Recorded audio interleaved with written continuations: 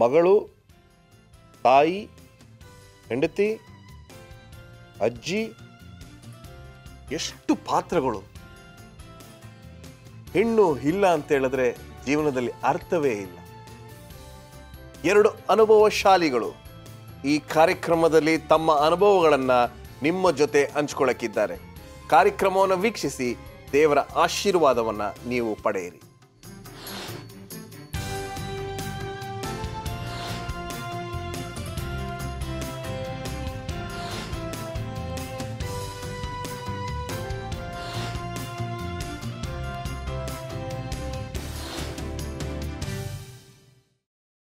ನಮಸ್ಕಾರ ನಮಸ್ಕಾರ ನಮಸ್ಕಾರ. ಹೇಗಿದ್ದೀರಾ?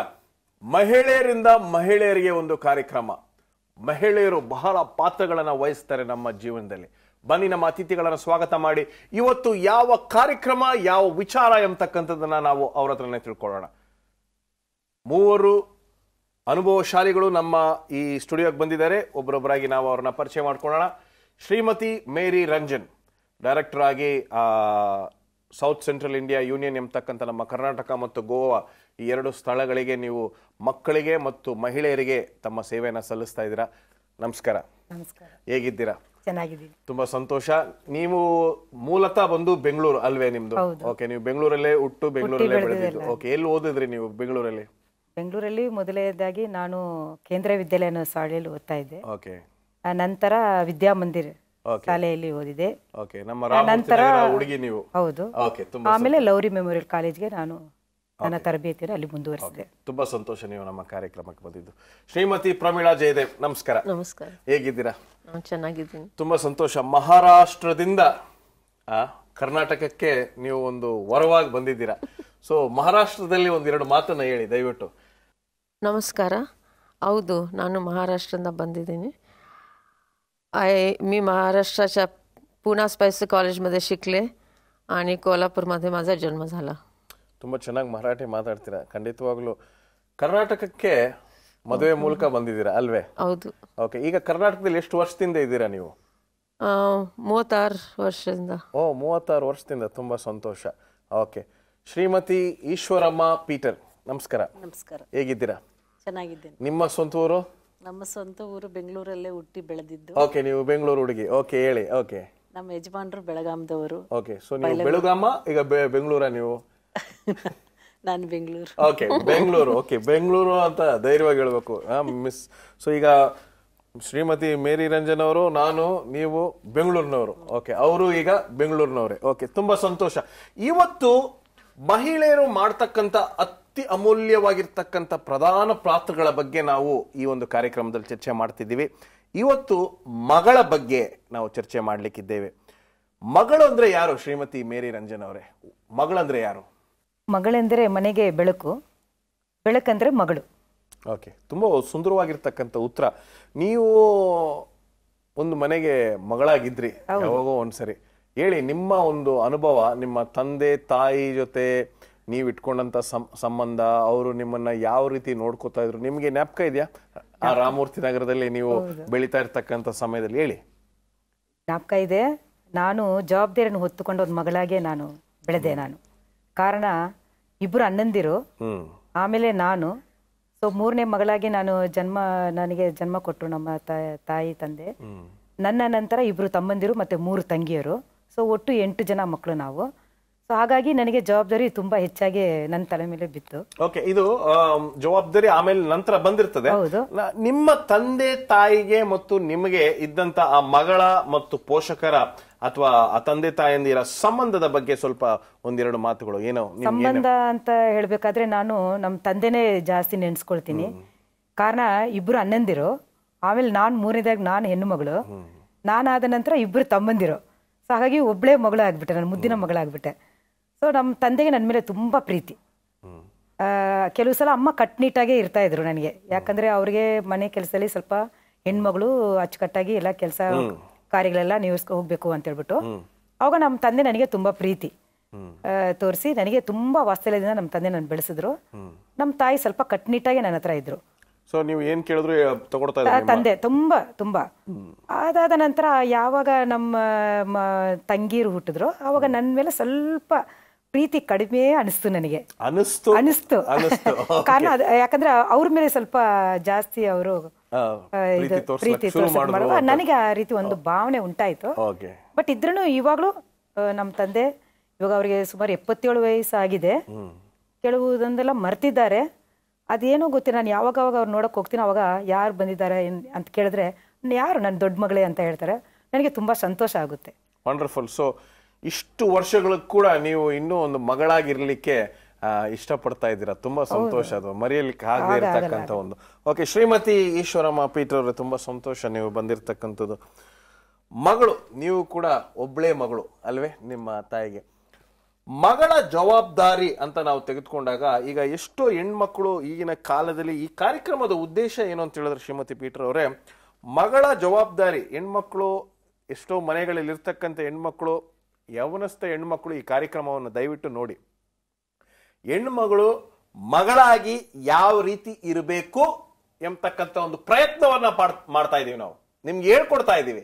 ಓಕೆ ಜವಾಬ್ದಾರಿಯ ಮಗಳು ಯಾವ ಯಾವ ರೀತಿ ಇರಬೇಕು? ಸೃಷ್ಟಿಯಲ್ಲಿ ದೇವರು ನಿಜವಾಗ್ಲೂ ಒಂದು ಸೌಂದರ್ಯವನ್ನು ಕೊಟ್ಟು ಅಂದ ಚಂದವನ್ನು ಕೊಟ್ಟು ಮಗಳನ್ನು ನಮಗೆ ನನಗೆ ಮಗಳು ಬೇಕು ಅಂತಾನೆ ನಾನು ಬೇಡ್ಕೊಂಡಾಗ ದೇವರು ನನಗೆ ಅದನ್ನು ಕೊಟ್ಟರು ಸೊ ತಾಯಂದರು ಏನಂದ್ರೆ ತಾ ಮಗಳನ್ನ ಈಗ ಹೇಗೆ ಒಳ್ಳೆ ನಿಮ್ಮ ಮಗಳ ಹತ್ರ ಹೋಗಕ್ಕಿಂತ ಮುಂಚಿತವಾಗಿ ನಿಮ್ ತಾಯಿ ಹತ್ರ ಹೋಗೋಣ ಫಸ್ಟ್ ನಿಮಗೂ ನಿಮ್ ತಾಯಿಗೂ ಇದ್ದಂತ ಒಂದು ಸಂಬಂಧದ ಬಗ್ಗೆ ಹೇಳಿ. ನಮ್ಮ ತಾಯಿ ನನ್ನನ್ನ ಸಾಕ್ತಾ ಇದ್ರು. ಇನ್ನು ಹೆಚ್ಚಾಗಿ ನಮ್ಮ ಅಜ್ಜಿನೂ ಸಹ ಹೆಚ್ಚಾಗಿ ನನ್ನನ್ನು ಸಾಕಿದ್ರು. ಸೊ ಅವರು ನಮ್ಮ ತಾಯಿ ಕೆಲವು ಸರಿ ಊರಿಗೆ ಹೋಗಿಟ್ಟ ಹೋಗ್ಬಿಟ್ಟಿದ್ದಾಗ ಅಜ್ಜಿ ಸಾಕ್ತಾ ಇದ್ರು.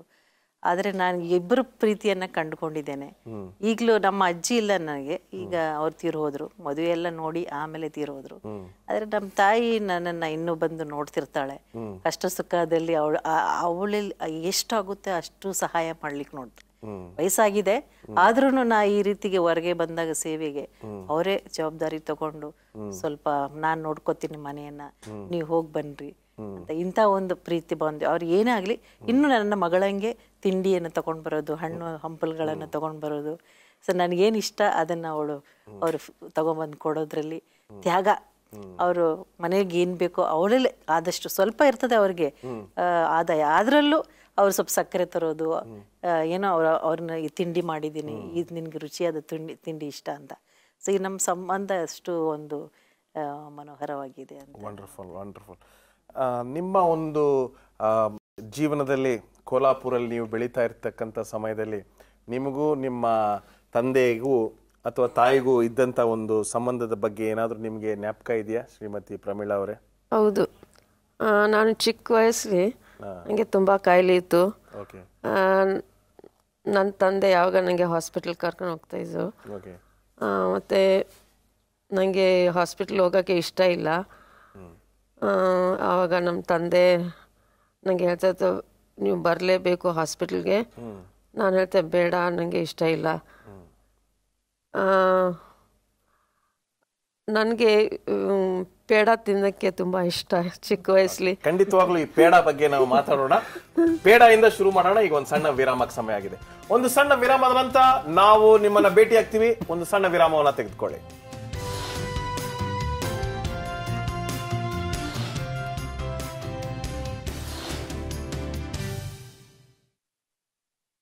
ವೆಲ್ಕಮ್ ಬ್ಯಾಕ್ ಬನ್ನಿ. ಸುಂದರವಾಗಿರ್ತಕ್ಕಂಥ ಒಂದು ಚರ್ಚೆಯನ್ನು ಮಾಡ್ತಿದ್ದೀವಿ. ಚರ್ಚೆಯನ್ನು ಮುಂದುವರಿಸೋಣ. ನಿಮ್ಮ ತಂದೆ ಮತ್ತು ನಿಮ್ಮ ಒಂದು ಅನುಭವವನ್ನು ಹೇಳ್ತಾ ಇದ್ರಿ. ಚಿಕ್ಕ ವಯಸ್ಸಲ್ಲಿ ನಿಮಗೆ ತುಂಬ ಹುಷಾರಿರಲಿಲ್ಲ. ಆಸ್ಪತ್ರೆಗೆ ಹೋಗ್ತಕ್ಕಂಥದ್ದು ನಿಮ್ಗೆ ಇಷ್ಟ ಆಗ್ತಿರ್ಲಿಲ್ಲ.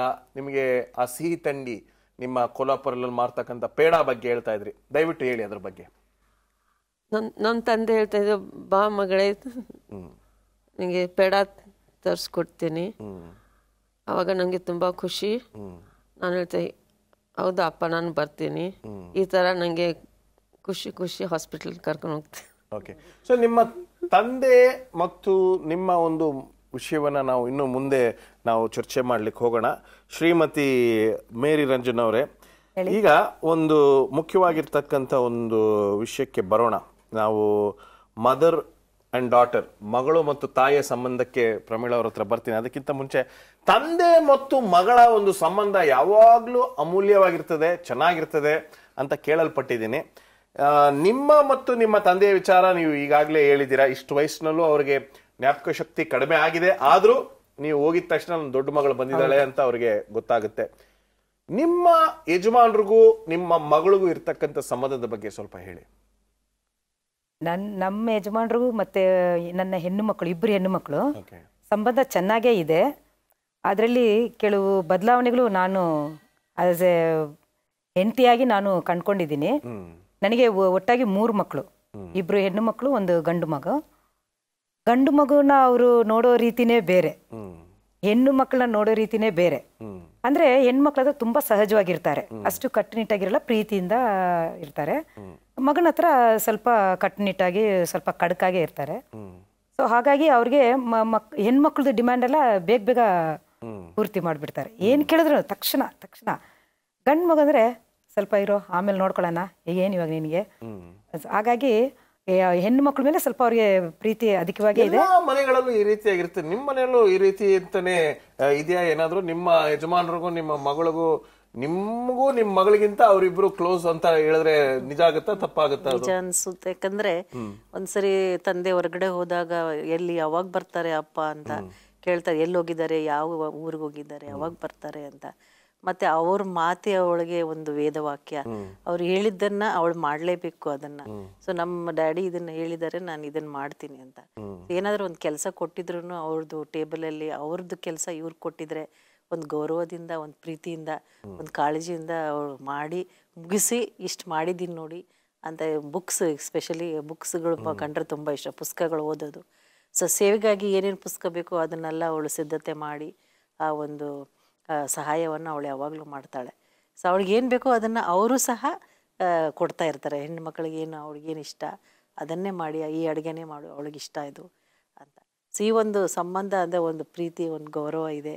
ಸೊ ಒಂದು ಅಮೂಲ್ಯ ಅಂತ ನಾನು ನಿಜವಾಗ್ಲೂ ಈಗ ಈ ಕಾರ್ಯಕ್ರಮವನ್ನು ನೋಡ್ತಾ ಇರ್ತಕ್ಕಂಥ ಎಲ್ಲ ಹೆಣ್ಮಕ್ಳು ಮಗಳು, ತಂದೆ ನಿಮ್ಮ ಮೇಲೆ ತೋರಿಸ್ತಾ ಇರ್ತಕ್ಕಂಥ ಪ್ರೀತಿ ಹೆಚ್ಚು ತಾಯಿ ತೋರಿಸ್ತಾ ಇರ್ತಕ್ಕಂಥ ಪ್ರೀತಿ ಕಡಿಮೆ ಎಂಬತಕ್ಕಂಥ ಭಾವನೆ ಒಂದು ವೇಳೆ ನಿಮ್ಮಲ್ಲಿದ್ದರೆ ದಯವಿಟ್ಟು ಈ ಕಾರ್ಯಕ್ರಮದ ಮೂಲಕ ನಾನು ಹೇಳ್ತಾ ಇರ್ತಕ್ಕಂಥದ್ದು ಅದನ್ನು ತೆಗೆದಾಕಿ. ತಂದೆ ತಾಯಿಗೆ ಆ ರೀತಿಯಾದ ಭೇದ ಭಾವ ಮಾಡಲಿಕ್ಕೆ ಗೊತ್ತಿಲ್ಲ. ನಿಮ್ಗೆ ಎರಡು ಗಂಡು ಮಕ್ಕಳು ಒಂದು ಹೆಣ್ಣು ಮಗು. ಶ್ರೀಮತಿ ಪ್ರಮೀಳಾ ಅವರೇ ಹೇಳಿ.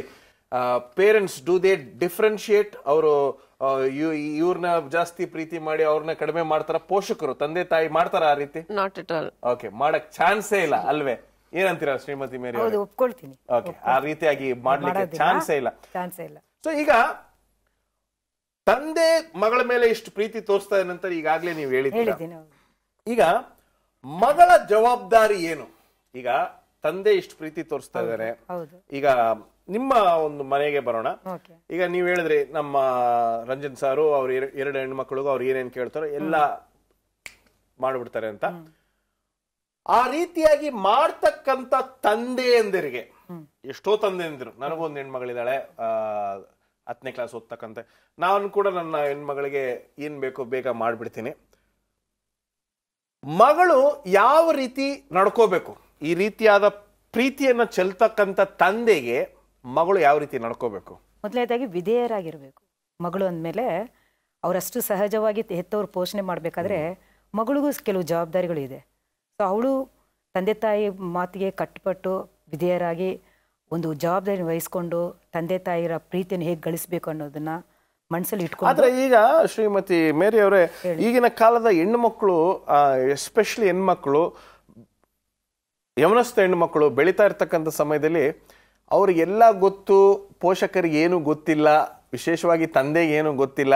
ನಾವು ಈ ಕಾಲದ ಹೆಣ್ಮಕ್ಳು ಅವ್ರದ್ದೇ ಆದಂಥ ಆಲೋಚನೆಗಳು ಅವರ ಡಿಸಿಷನ್ಗಳು ಅವರ ನಿರ್ಧಾರಗಳು ಬೇರೆ ಬೇರೆ ಆಗಿದೆ.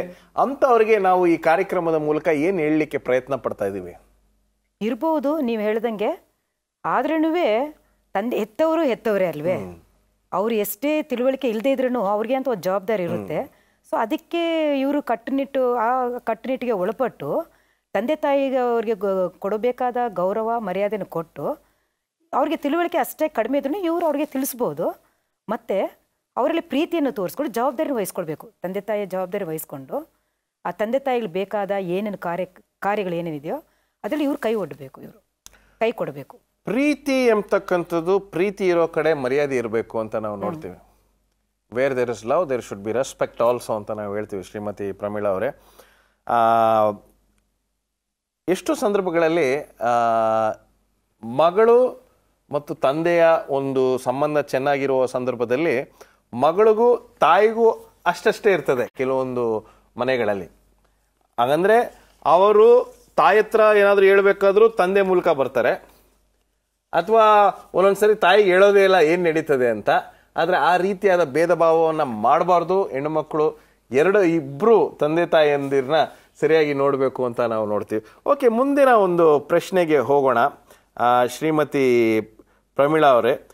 ಮಗಳನ್ನು ಯಾವ ರೀತಿ ಸಾಕಬೇಕು? How do you nurture your daughter ಈಗ ನಿಮಗೊಂದು ಹೆಣ್ಮಗಳಿದ್ದಾಳೆ, ಮದುವೆ ಆಗಿದೆ. ಒಳ್ಳೆ ಕಡೆ ಸಂಬಂಧ ಮಾಡಿದ್ದೀರಾ, ಒಳ್ಳೆ ಒಂದು ಅಳಿಯ ಸಿಕ್ಕಿದ ದೇವರು ನಿಮಗೆ ಕೊಟ್ಟಿದ್ದಾನೆ. ಅದ್ರ ಬಗ್ಗೆ ನಾವು ಮಾತಾಡೋಣ. ಈಗ ಒಂದು ಸಣ್ಣ ವಿರಾಮಕ್ಕೆ ಸಮಯ ಆಗಿದೆ.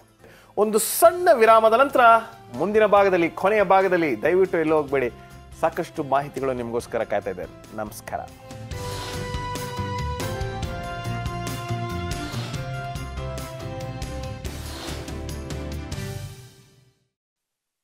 ವೆಲ್ಕಮ್ ಬ್ಯಾಕ್ ಬನ್ನಿ ನಮ್ಮ ಚರ್ಚೆಯನ್ನು ಮುಂದುವರಿಸೋಣ. ಕೊನೆಯ ಭಾಗದಲ್ಲಿದ್ದೇವೆ ಶ್ರೀಮತಿ ಪ್ರಮೀಳಾ ಜಯದೇವ್ ಅವ್ರ ಹತ್ರ ಪ್ರಶ್ನೆಯನ್ನು ಕೇಳ್ತಾ ಇದ್ದೆ. ಹೆಣ್ಣು ಮಕ್ಕಳು ಯಾವ ರೀತಿ ಇರಬೇಕು?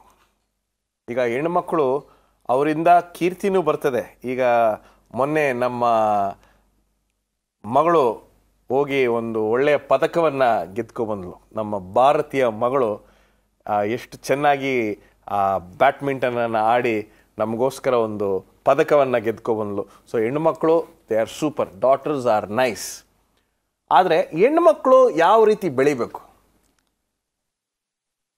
Actually you say actually daughters are very very blessing to the family okay ಅವರು ಒಂದು ಆಶೀರ್ವಾದವಾಗಿದ್ದಾರೆ ಮೊದಲನೇದಾಗಿ. Okay and as a parents they should spend quality time with them okay ಇಲ್ಲ ಈಗ ಹೆಣ್ಣು ಮಕ್ಕಳು ಯಾವ ರೀತಿ ಅವ್ರು ಯಾವ ರೀತಿ ನೋಡಬೇಕು ತಂದೆ ತಾಯಂದಿರನ್ನ ಅವರ ಒಂದು ಸನ್ಮಾನ. ಈಗ ಶ್ರೀಮತಿ ಈಶ್ವರಿ ಅವರೇ ಈಗ ನಿಮ್ಮ ಮನೆಯಲ್ಲಿ ಹೆಣ್ಮಗಳು ಯಾವ ರೀತಿ ತಂದೆ ತಾಯಿಯನ್ನ ನೋಡಿ ಯಾವ ರೀತಿ ಅವಳು ಯಾವ ರೀತಿ ಕಲಿತಾ ಇದ್ದಾಳೆ? ನಾವು ಹೇಳ್ತೀವಿ ನೂಲಿನಂತೆ ಸೀರೆ ಇರಬೇಕು ತಾಯಿಯಂತೆ ಮಗಳು ಅಂತ. ಸೊ ನಮ್ಮ ಒಂದು ಮನೆಯಲ್ಲಿ ಯಾವ ರೀತಿ ಇರಬೇಕು ಅಂತ ಹೇಳೋಗೆ ಹೆಣ್ಣು ಮಕ್ಕಳು ಸೊ ತಾಯಿಯನ್ನ ಅವರು ಪರಿಪಾಲಿಸ್ತಾರೆ. ಅವ್ರು ಮಾಡುವಂಥದ್ದನ್ನೇ ಮಗಳು ಮಾಡ್ತಾಳೆ. ಸೊ ಅದಕ್ಕಾಗಿ ನಾವು ಒಳ್ಳೇದನ್ನೇ ಕಲಿಸ್ಬೇಕಾಗುತ್ತೆ ಓಕೆ ಏನ್ ಕಲಿಸ್ಬೇಕು? ಏನ್ ಕಲಿಸ್ಬೇಕು ಅವರಿಗೆ ಮೊದಲನೇದಾಗಿ ಒಳ್ಳೆ ದುಡಿಬೇಕು ದುಡಿಯುವಂತ ಸ್ವಭಾವ ಇರಬೇಕು. ಸ್ವಾತಂತ್ರ್ಯವಾಗಿರ್ಬೇಕು ಅವರು. ಆತ್ಕೋಬಾರ್ದು ಯಾರ ಮೇಲೂ. ಅವರು ಸ್ವಂತ ಕಾಲ್ ಮೇಲೆ ನಿಂತ್ಕೊ ಹೆಣ್ಣು ಮಕ್ಕಳು ಯಾವಾಗ್ಲೂ ಈ ಕಾರ್ಯಕ್ರಮ ನೋಡ್ತಾ ಇರ್ತಕ್ಕಂಥವ್ರು ಓಕೆ ನಮ್ಮ ತಂದೆ ತುಂಬಾ ಶ್ರೀಮಂತ ನಮ್ಮ ಅಣ್ಣ ತುಂಬಾ ಶ್ರೀಮಂತ ಅವ್ರು ನೋಡ್ಕೋತಾರೆ ನನ್ನ ಲೈಫಲ್ಲಿ ಸೆಟ್ಲ್ ಆಗ್ತೀನಿ ಅಂತ ನೋಡ್ತಾ ಇರ್ತಕ್ಕಂಥವ್ರು ಅನುಭವದ ಮಾತು ಬರ್ತಾ ಇದೆ. ಕೇಳ್ಕೊಳ್ಳಿ. ಸ್ವಾತಂತ್ರ್ಯವಾಗಿ ನಿಮ್ಮ ಕಾಲ್ ಮೇಲೆ ನೀವು ನಿಲ್ಲಕ್ಕೆ ಪ್ರಯತ್ನ ಪಡಿ.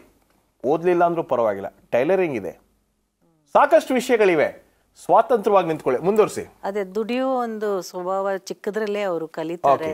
ಅದು ಒಂದು ಒಳ್ಳೆ ಗುಣ. ಯಾಕಂದ್ರೆ ಸೋಮಾರಿತನ ಇದ್ರೆ ಆ ಮನೆಗೆ ಒಂದು ಏನು ಎಲ್ಲ ಒಂದು ದರಿದ್ರ ಅಂತ ನಾವು ನೋ- ನಂಬ್ತೇವೆ. ಅದಕ್ಕಾಗಿ ಆ ಒಂದು ದುಡಿಯುವ ಸ್ವಭಾವ ಯಾವುದೇ ಕೆಲಸ ಆಗಲಿ ಮಾಡಬೇಕು ಅವಳು. ಮನೆಯನ್ನ ಅಚ್ಚುಕಟ್ಟಾಗಿ ಇಟ್ಕೊಳ್ಳೋದು ಮತ್ತೆ ಅವಳು ಸ್ವಚ್ಛತೆಯನ್ನು ಕಾಪಾಡಿಕೊಳ್ಳೋದು ಅವಳು ಸ್ವಾವಲಂಬಿಯಾಗಿರೋದು. ಸೊ ಯಾವುದೇ ಕಷ್ಟ ಕೆಲಸ ಕೊಟ್ಟರು ಕಷ್ಟಪಟ್ಟು ಕೆಲಸ ಮಾಡುವಂಥ ಇರಬೇಕು. ಮತ್ತು ಅಷ್ಟೇ ಅಲ್ಲ ಜ್ಞಾನವನ್ನು ಅವರು ಇನ್ನೂ ಹೆಚ್ಚೆಚ್ಚಾಗಿ ತಂದೆಯಿಂದ ಅವ್ರು ಕಲಿತಾರೆ. ಸೊ ಅದನ್ನು ಜ್ಞಾನವನ್ನು ಅವ್ರ ಸಾಮರ್ಥ್ಯವನ್ನು ಅವರ ತಲಾಂತಗಳನ್ನು ಹೆಚ್ಚು ಹೆಚ್ಚಾಗಿ ಮಾಡಲಿಕ್ಕೆ ಒಂದು ಆಸ್ಪದ. ಓಕೆ ವಂಡರ್ಫುಲ್ ಈಗ ನಾವು ಮುಂದೆ ಹೋಗೋಣ. ಅಂತಿಮ ಅಂತಿಮ ಭಾಗದಲ್ಲಿದ್ದೀವಿ. ಕಾರ್ಯಕ್ರಮವನ್ನು ಮುಕ್ತಾಯ ಮಾಡ್ತಕ್ಕಂಥ ಸಮಯ ಬಂದಿದೆ. ಈ ಕಾರ್ಯಕ್ರಮದ ಮೂಲಕ ಎಲ್ಲ ಹೆಣ್ಮಕ್ಕಳಿಗೆ ನೀವು ಏನನ್ನ ಹೇಳಲಿಕ್ಕೆ ಇಷ್ಟಪಡ್ತೀರಾ ಶ್ರೀಮತಿ ಮೇರಿ ಅವರೇ? ಹೆಣ್ಣು ಮಕ್ಕಳಿಗೆ ನಾನು ಹೇಳೋದೇನೆಂದರೆ, ಹೆಣ್ಣು ಮಕ್ಕಳೇ, ನೀವು ಒಂದು ಮನೆಗೆ ಬೆಳಕಾಗಿರಬೇಕು ನೀವು, ಕತ್ಲೆಯಾಗಿರಬಾರ್ದು. ಯಾಕಂದರೆ ಹೆಣ್ಣು ಮಗು ಮನೆಗೆ ಒಂದು ಭೂಷಣ ಅಂತಾರೆ. ನಿಮ್ಮ ಲವಲವಿಕೆ, ನಿಮ್ಮ ನಡೆ, ನುಡಿ, ಭಾವನೆ ಎಲ್ಲದರಲ್ಲೂ ಒಂದು ಸಹನೆ, ತಾಳ್ಮೆ ಈ ಗುಣಗಳ ಲಕ್ಷಣಗಳನ್ನು ನೀವು ಇಟ್ಕೊಂಡು ಚೆನ್ನಾಗಿ ಬೆಳೆಯಿರಿ. ತಂದೆ, ತಾಯಿಗಳೇ ಒಳ್ಳೆ ಹೆಸರನ್ನು ತೊಗೊಂಡು ಬನ್ನಿ.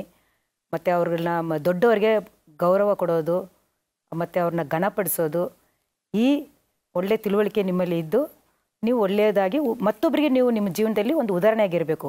ನಿಮ್ಮ ಪೋಷಕರು ಹೇಗೆ ನಿಮ್ಮನ್ನು ಎಷ್ಟು ಒಂದು ಹತಬದ್ಧದಲ್ಲಿ ಇಟ್ಕೊಂಡು ನಿಮ್ಮನ್ನು ಬೆಳೆಸ್ತಾ ಇದ್ದಾರೋ ಅದೇ ರೀತಿಯಾಗಿ ನೀವು ಬೆಳೆದು ಆ ದಾರಿಯಲ್ಲೇ ನೀವು ಬಂದರೆ ನೀವು ಮತ್ತೊಬ್ಬರಿಗೆ ನೀವು ಒಂದು ಉದಾಹರಣೆ ಇರ್ತೀರಾ?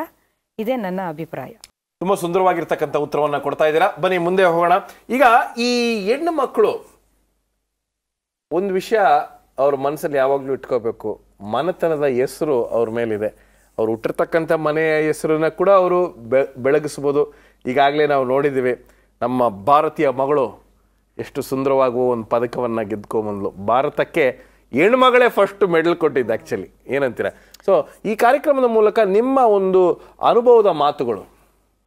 ಆದರೆ ಹೆಣ್ಣು ಮಕ್ಕಳು ಯಾವಾಗಲೂ ತಂದೆ ತಾಯಿನ ಸನ್ಮಾನಿಸಬೇಕು, ಮತ್ತು ಅವರು ಯಾವಾಗಲೂ ಸತ್ಯವನ್ನೇ, ಸತ್ಯದ ಮಾರ್ಗದಲ್ಲಿ ನಡಿಬೇಕು ಅಂತ ನೋಡ್ತೇವೆ, ಸತ್ಯವನ್ನೇ ನುಡಿಬೇಕು, ಮತ್ತು ಯಾವಾಗಲೂ ಅವರು ವಿವೇಕದಿಂದ ಅವರ ಕೆಲಸಗಳನ್ನು, ಕಾರ್ಯಗಳನ್ನು ಮಾಡಬೇಕು. ಸ್ವಲ್ಪ ತಿಳುವಳಿಕೆ, ಜ್ಞಾನ ಸೊ ದೇವರು ಅವ್ರಿಗೆ ಅದನ್ನು ಕೊಡಬೇಕು ಮಾನಸ್ಥಿಯರಾಗಿರಬೇಕು ಒಳ್ಳೆ ಉಡುಪುಗಳನ್ನು ಧರಿಸಬೇಕು.